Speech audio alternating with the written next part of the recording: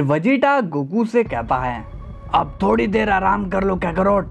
मैं जाकर खाने की चीज़ें और कुछ इक्विपमेंट्स लेकर आया, जिससे फिर हम और हार्ड ट्रेनिंग करेंगे। फिर गोकू कहता है, ठीक है वजीटा, पर थोड़ा जल्दी करना, क्योंकि टूर्नामेंट शुरू होने वाला है और काफ़ी कम टाइम भी बचा है। हमें ट्रेनिंग करनी होगी। फिर वजीटा कहता है, ठीक है, कैकरोट, मैं चलता हूँ, अपना ख्याल रखना। और फिर वजीटा सैड होते हुए टाइम चैम्बर से बाहर आ जाता है और फिर गोकू सोचता है वजीटा को आने में पक्का काफ़ी देर हो जाएगी, क्योंकि बुलमा उसे जल्दी आने कहाँ देगी। चलो मैं थोड़ा सो ही लेता हूँ, बॉडी को भी आराम मिलेगा। इसके बाद सीन जाता है टाइम चैम्बर के बाहर। यहाँ वजीटा टाइम चैम्बर से बाहर आ जाता है और तभी वहाँ उसे बीरस के साथ साथ सभी डिस्ट्रॉयर दिखाई देते हैं। वजीटा कहता है, लॉर्ड बीरस ये सब डिस्ट्रॉयर यहाँ क्या कर रहे हैं? बीरस कहता है, वजीटा, ये सब यहाँ इसलिए आए हैं क्योंकि इन सबको मेरी बातों पर विश्वास नहीं। इन्हें लगता है कि मैं गोकू को छोड़ दूँगा। इसलिए ये यहाँ अपनी आँखों से देखने आए हैं। तो वजीटा, अब अपना काम पूरा करो। फिर वजीटा कहता है, रुकिए, लॉर्ड पीरस, मुझे इन सभी डिस्ट्रॉयर से कुछ कहना है। मुझे इनके चेहरे पर साफ़ साफ़ दिखाई दे रहा है। इनकी घटिया चाल और ये कितने डरे हुए हैं, क्योंकि कैकरोट ही था जिसने तुम्हारे उस महान जीरेन को हराया था, जो अपने डिस्ट्रॉयर से भी ज़्यादा ताकतवर है। क्यों, बेलमोड?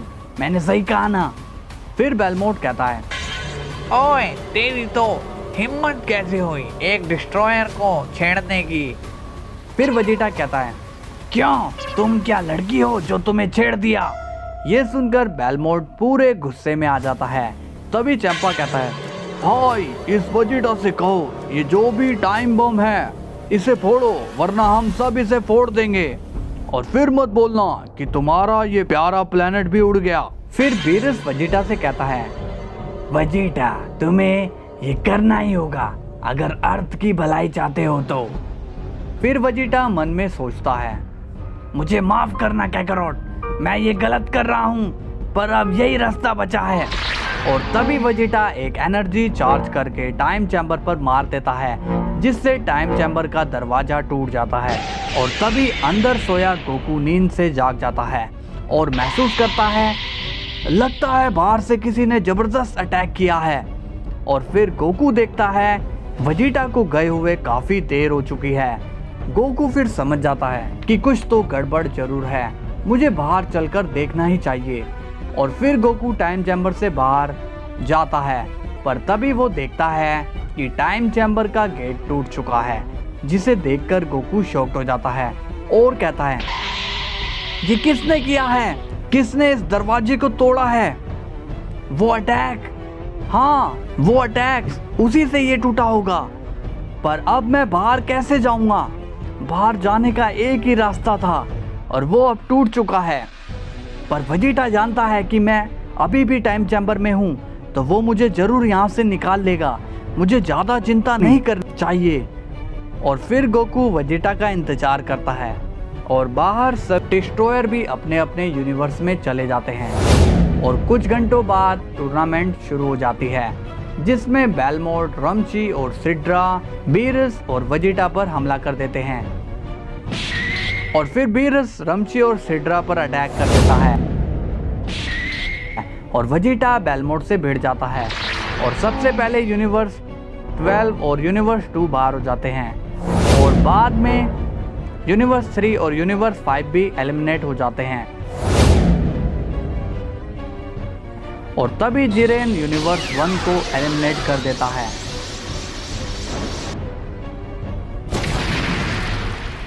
और फिर बीरस भी रमशी को रिंग से बाहर कर देता है। और फिर लीकर और उसके मोटल को चैंपा और क्विटेला मिलकर गिरा देते हैं।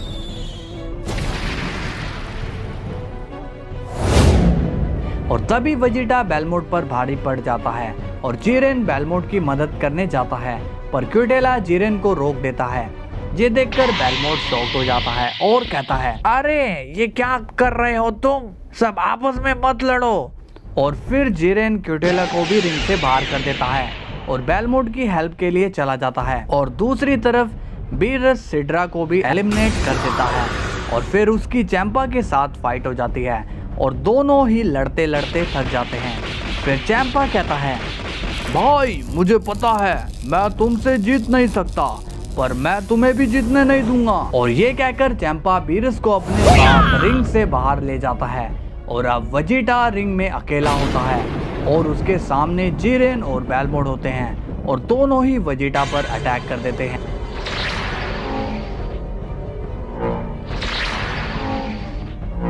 इसके बाद सीन जाता है टाइम चैम्बर में, जहाँ गोकू के सबर का बाँध टूट जाता है और वो कहता है मुझे नहीं लगता वजीटा मुझे यहाँ से बाहर निकालने वाला है, वरना अभी तक उसे आ जाना चाहिए था।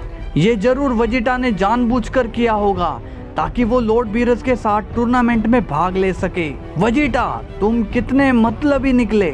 और फिर गोकू फैसला कर लेता है कि अब वो खुद ही इस टाइम चैम्बर से बाहर निकलेगा। और फिर गोकू अपना पावर अप करता है, और सीधा सुपर सेन ब्लू में ट्रांसफॉर्म हो जाता है।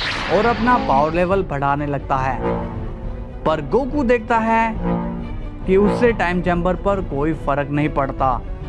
फिर गोकू कायोकेन यूज़ करता है और टेन टाइम्स कायोकेन का भी यूज़ करता है। कायोकेन भी टाइम चैम्बर को नहीं तोड़ पाती। फिर गोकू कायोकेन को हंड्रेड टाइम्स पर ले जाता है और अब भी टाइम चैम्बर को कुछ नहीं बिगड़ता। फिर गोकू सोचता है टाइम चैम्बर तो पहले से काफ़ी अपग्रेड हो चुका है। और इस बार गोकू अपनी पूरी ताकत लगा देता है और कायोकेन की टेन थाउज़ेंड टाइम्स तक उसे ले जाता है, जिसमें गोकू की बॉडी से एक पावरफुल एनर्जी वेव निकलती है, जिससे टाइम चैम्बर हिलने लगता है। इसमें गोकू की काफ़ी एनर्जी यूज़ होने लगती है और थोड़ी देर बाद ज़मीन पर गोकू गिर जाता है और बेहोश हो जाता है। और इसके बाद सीन दोबारा टूर्नामेंट में जाता है जहाँ वजीटा अकेले ही जिरेन और बेलमोट का सामना कर रहा होता है और फिर वजीटा एक बड़ी हकाई बॉल चार्ज करके जिरेन पर मार देता है, जिससे जिरेन पूरी तरह डैमेज हो जाता है और तभी वजीटा बेलमोट पर अटैक कर देता है और सीधा रिंग के कोने पर बेलमोट पहुँचता है और वजीटा कहता है, अब क्या हुआ, जोकर? हार मान ली। और तभी बेलमोट स्माइल करता है, अरे वजीटा, पीछे तुम देखो। और तभी जीरेन एक एनर्जी बॉल चार्ज कर चुका होता है और वजीटा पर मार देता है, जिससे वजीटा सीधा रिंग से बाहर गिर जाता है। यूनिवर्स 11 टूर्नामेंट जीत जाता है और ग्रैंड प्रिस्ट यूनिवर्स 11 को सुप्रीम यूनिवर्स बना देते हैं और कहते हैं कि अब से यूनिवर्स 11 सभी यूनिवर्स का हेड होगा और सभी गॉड की होने वाली मीटिंग में यूनिवर्स 11 के डिस्ट्रॉयर बेलमोड हेड होंगे और फिर सभी अपने अपने यूनिवर्स में चले जाते हैं। और फिर सेन गोकू पर जाता है। और गोकू ये डिसाइड कर लेता है कि अब वो वजीटा से बदला लेकर रहेगा। पर गोकू देखता है कि उसका खाना बहुत ही कम बचा है। पर फिर भी वो हार नहीं मानता। वो लगातार ट्रेनिंग करने लग जाता है और फिर हमें वजीटा दिखाया जाता है। जो डेंडे से पूछता है कि टाइम चैम्बर कब तक रिकवर होगा, डेंडे कहता है, कुछ कह नहीं सकता। इसमें लगभग आधा साल लग सकता है। ये सुनकर वजीटा शॉक हो जाता है और सोचता है ऐसे तो कैकरोट मारा जाएगा क्योंकि उसके पास अब ज़्यादा खाना नहीं बचा होगा।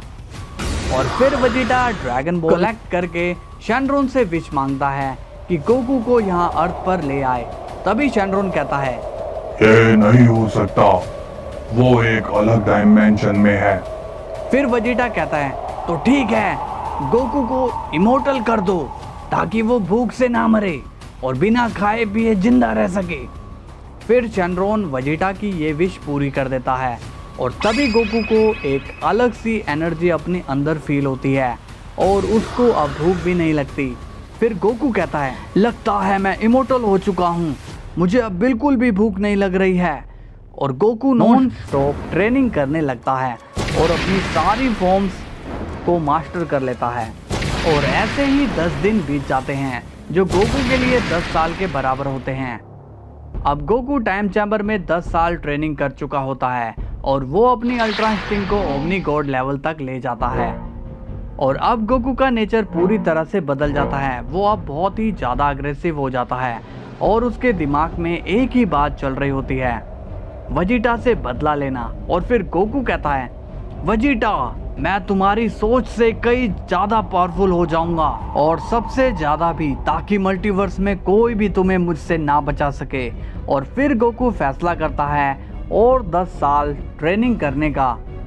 और फिर अब गोकू को टाइम चैम्बर में पूरे 20 साल हो जाते हैं ट्रेनिंग करते करते। और अब गोकू ओमनी गॉड और ग्रैंड प्रिस्ट से भी कई गुना ज़्यादा पावरफुल हो जाता है।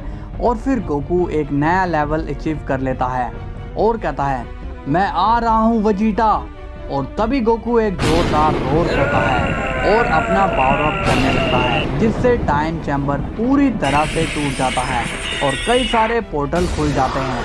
और तभी गोकू उनमें से एक पोर्टल में चला जाता है, जहाँ उसे एक अनजान आदमी दिखता है। गोकू उससे कहता है, तुम तो एक एंजल जैसे दिख रहे हो, और ये कौन सी जगह है? वो एंजल कहता है, ये मेरा वर्ल्ड है।